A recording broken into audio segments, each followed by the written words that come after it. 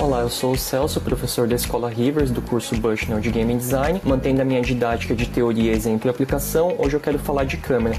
Vocês já devem ter ouvido um diretor de cinema falar luz, câmera e ação. Para nós da área de games, nós temos os três Cs, que é a câmera, character, que é personagem, e controle. Focando hoje apenas na câmera, nós temos o livro e o artigo do Mar, e algumas das técnicas que já são conhecidas na fotografia, como a regra dos terços, ela também é utilizada no cinema, e para o exemplo de hoje temos Resident Evil 4, tanto o original quanto o remake, em que eles têm sistemas de câmera para poder fazer essa mesma técnica sendo aplicada. Por último, esse é um jogo que eu desenvolvi e no caso aqui eu também segui a regra dos terços e a composição tinha que funcionar tanto no formato retrato quanto no formato paisagem. Por conta disso, o nosso artista, desde o rascunho até a versão final, colocou isso em prática. Aqui é a aplicação do jogo por cima e essa seria a composição final. Esse é o nosso curso. Caso tenha interesse, garanta a vaga para a próxima turma e podem entrar em contato com o link na bio. Obrigado.